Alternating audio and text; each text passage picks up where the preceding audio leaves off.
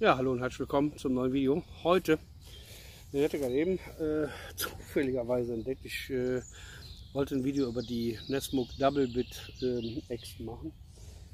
Oder Doppelkopf-Axt oder Doppelschneide-Axt. Ich habe sie mal noch dabei. Äh, also ist eine VA für den Kanal Yet Another Gear Channel, den ich sehr mag. Ich finde auch die Art, wie er seine Sachen ähm, vorträgt und erzählt und vorstellt. Sehr cool. Cooler Dialekt. Ähm, das ist also hier die Moore Makers äh, Incorporated Matador Texas. Äh, ja, Replika der Nesmuk Double Bit X. Nesmuk ist bekannt. Ziemlich cleveres Kerlchen. Äh, nee, sieht man ja nicht. Das sieht man auch nicht. Mein Gott. Jetzt aber. Farbähnlichkeiten sind nicht beabsichtigt. Äh, ja, hat halt gesagt, macht mal ein Video, ähm, gute Gründe ein Messer zu tragen. Ich könnte jetzt abkürzen und sagen, gute Gründe kein Messer zu tragen. Zero. Also gute Gründe, ein Messer zu tragen. Alltagspreparedness. Ich als äh, Kraftfahrer, ich brauche, ich habe ja, äh, die meisten werden es wissen, mein Lieblingsmesser ist mein Benchmade Quintillion. Ja, für ein EDC-Messer, das wirklich jeden Tag Hardcore auf der Arbeit benutzt wird. Mal hier, haben hier, mal, da, kleinen Chip. Ja, hm. Das ist das, wenn man Leuten ein Messer in die Hand gibt, Unwissenden, Ahnungslosen. Äh, ich brauche es jeden Tag auf der Arbeit. Ich brauche es auf der Arbeit äh, als Arbeitsmesser. Nicht nur das, sondern auch andere. Ich brauche Messer als äh, Arbeitsmesser oder Festbaumesser im LKW, im Führerhaus. Übrigens, guter Spruch, der Führer war ein armes Schwein, hatte keinen Führerschein. Ja? Ähm, Habe ich mir angewöhnt, ein Fixed jetzt als Festbaumesser im LKW mitzunehmen. Und das ist hier das Hulterforce. Ich habe sonst keine andere Verwendung mehr dafür. Und es wäre mir zu schade, um das wegzuwerfen oder was auch immer. Also das ist mein Festbaumesser im LKW. Ja? Ich könnte natürlich auch jeden Tag eine Pommesbude marschieren und sagen, einmal Pommes, äh, Currywurst, Pommes, Mayo, Schranke. Also Currywurst, Pommes, Schranke. Ne? Schranke, rot-weiß, rot-weiß, rot-weiß. Mag ich nicht. Ich gehe lieber ähm, beim, zum Bäcker oder ich hole mir gerne mittlerweile mein Eiweißbrot und äh, schmier mir da mein, ähm, meine Buttis mit. So nenne ich die Buttis statt Butterbrote. Ähm, statt da teures Geld auszugeben und äh, nach einer halben Stunde wieder Knast zu haben, also Kohldampf. Äh, des Weiteren, neben, dem, neben der Alltags-Preparedness, sage ich mal wirklich dem Survival-Preparedness. Ich habe jetzt hier zwei Messer in einer Pouch, aber kommen beide diversen Pouches. Ähm, sind beide von der Firma HX Outdoors ähm, von Gearbest zur Verfügung gestellt für Review. Ähm, Survival Preparedness ist zum Beispiel, wenn ich, ähm, ich einen Unfall habe und äh, bin im Auto eingeschlossen, bräuchte ich dann zum Beispiel ein Messer mit, ähm, habe ich jetzt leider wirklich im LKW vergessen, mein Rettungsmesser von Reek, ähm, Ruike, die es bald übrigens so nicht mehr gibt. Reek in Deutschland müssen sich umbenennen. Die sind von Rui angeschissen worden. Pfui, Rui. Nun gut, ähm, Alltagsbeklärtnis, ne? also sagte ich, ähm, Festbahn, äh, auf der Arbeit ähm, Kartonage mal schnell durchschneiden, Folie durchschneiden, äh, Plastikstrapse und so weiter. Ist normal für mich. Festbahn auf der Arbeit ist normal für mich. Ich muss äh, nach viereinhalb Stunden Arbeitszeit äh, 45 Minuten Pause machen oder nach anderthalb Stunden Fahr Fahrzeit. 15 Minuten und nach weiteren drei, 30 Minuten, also dass wir innerhalb von viereinhalb Stunden auf drei, äh, 45 Minuten Pause kommen. Und was macht der, der Kraftfahrer in dieser Zeit, wenn er in seinem Führerhaus ist? Er vespert. Selbstverständlich. Freunde, Hm.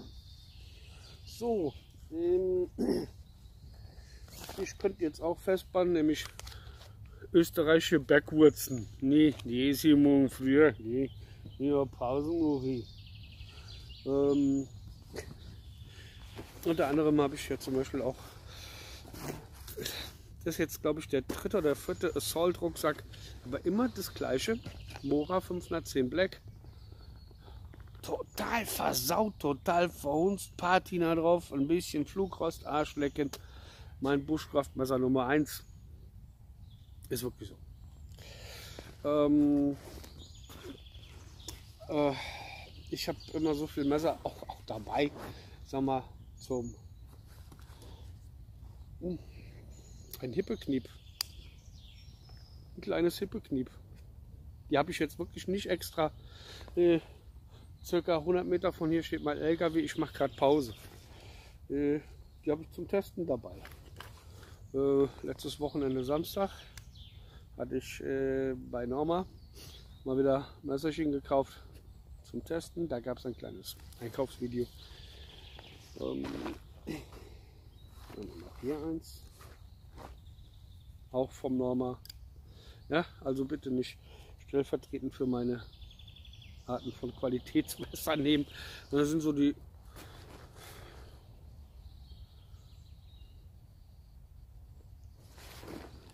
Das habe ich so dabei.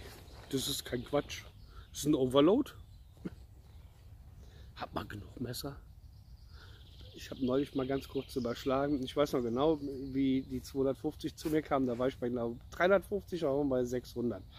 Jetzt liege ich bei 695 Messern. Und ich sag's mal mit den Worten der toten Hosen. Äh, Quatsch, der bösen Onkels. Wir haben noch lange nicht genug. Ja.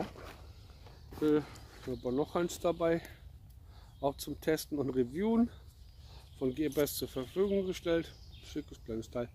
Äh, ich will jetzt nicht vom Thema abweichen, aber ich zeige mal so, was ich so dabei habe und was ich wirklich immer wieder teste oder benutze und so weiter und so fort. Und einige werden es mitbekommen haben, ich habe eine Leidenschaft entdeckt. Neckknives.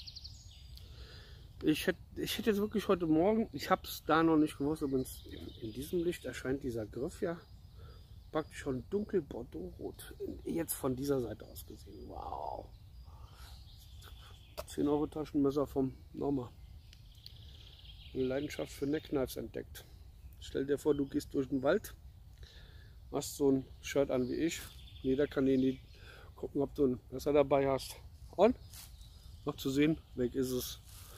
Trotzdem hast du immer ein Notfallmesser, Cold Steel, Super Edge. Also, warum es sich dann lohnt, wirklich ein Messer zu tragen, ist Alterspreparedness, Survival Preparedness.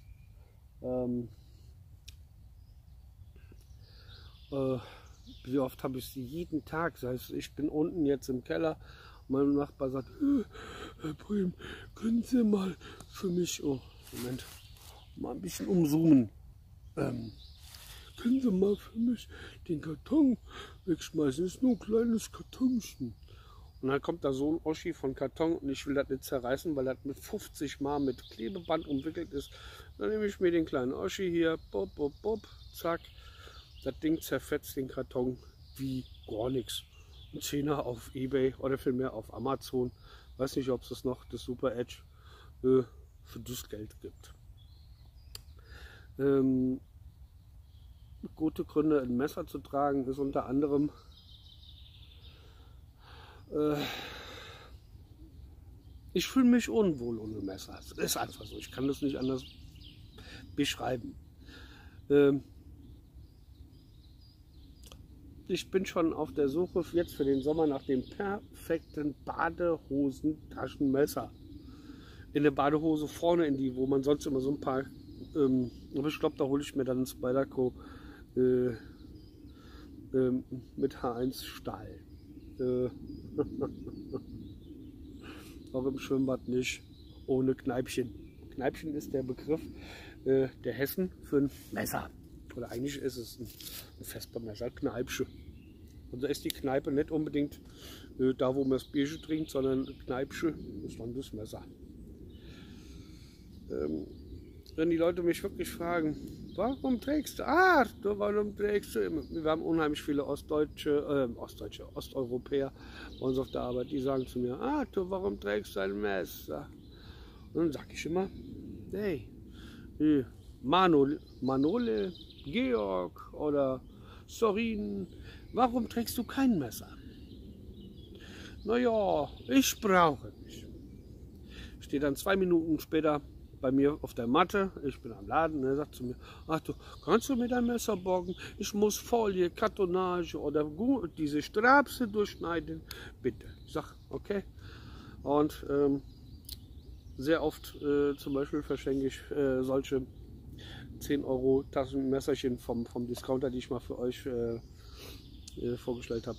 Die ähm, verschenke ich dann gerne. Deshalb habe ich zum Beispiel die auch nach dem Testen immer dabei. Ähm, das hier vom Norma erinnert mich so ein bisschen an. Ich komme nicht drauf. Äh, hässlich wie die Nacht, aber effektiv. 10 Euro für äh, Kartonagen zu zerschneiden, ein Äpfelchen zu teilen, ist das mit Sicherheit sehr effektiv. Nun gut, Taschenmesser sind Werk oder Messer sind Werkzeuge, keine Waffen. Ähm, ich habe es echt versucht. Ähm, in den 80ern habe ich, hab ich meine Lehre in einem großen, nicht Baumarkt, aber in einem Sanitär Groß- und Einzelhandel gemacht. Und da sagte damals der Chef, na, ein Messer. Muss ja kein großes sein. Sie doch ein kleines mit. Nehmen Sie doch ein kleines mit, wenn Sie es unbedingt müssen. Und ja, äh, entdeckte dann die Liebe zu meinen äh, Schweizer Taschenmessern wieder, die halt multifunktionell sind. Und ähm, ich liebe die auch, also wenig. Und gute Gründe, ein Taschenmesser zu, oder ein Messer zu tragen, muss ich leider jüdisch beantworten, Juden beantworten sehr gerne mit einer Gegenfrage. Nennen mir gute Gründe, keins zu tragen. So, danke für die Idee. Ähm, muss aber dazu sagen, ähm, ich kam, habe diese, ähm, das leider das Thema so verpasst, habe das ähm, über eine Benachrichtigung, da der Stefan wieder ein Video hochgeladen hat. Finde ich schön, dass er jetzt wieder viele Videos macht. Freut mich sehr gesehen. Und, äh, okay, jeder yeah, geht schon, der die VA von mir auf jeden Fall verdient. So, das war's. Off Camera Bergwurzen oder nicht. Das war's hier noch nicht. Vielleicht esse ich das später. Ich sag danke fürs Zuschauen und wünsche dir noch ganz viel Spaß auf YouTube mach weiter so mit deinem geilen Channel. Ich finde den geil, ich finde den super und wir brauchen mehr von deiner Sorte. Immer schön mitten drauf aufs Thema. Und jeder, der zuschaut und nur zuschaut, habe ich mal eine Frage. Gute Gründe, YouTube-Videos zu machen? Hm? Oder gute Gründe, keine zu machen? Quatsch. Ich sehe nicht ein. Macht Videos, Leute. Die, die ihr zuschaut, ihr könnt genauso wie ich, nee, ihr könnt zehnmal besser wie ich. Ja? Bereichert die deutschen äh, YouTube-Gefilde mit Messer-Reviews, mit äh, die Reviews und so weiter und so fort. So, äh, das ist eigentlich heute nur so ein Halbzeitvideo. Heute Abend kommt ein Video über eine Axt. War eine ziemlich geile sogar. Und äh, die hatte ich auch auf Instagram mal ganz kurz gezeigt. Ja, ne, es ist nicht die. Das ist eine andere. Ähm, sag, danke fürs Zuschauen. Wir sehen uns heute Abend und ich wünsche euch wie immer alles Gute. Tschüss, Madiot, schwenkt tot, tschüss, fahr ab und schwenkt die Axt, äh, die Kap. Ciao. Schaka.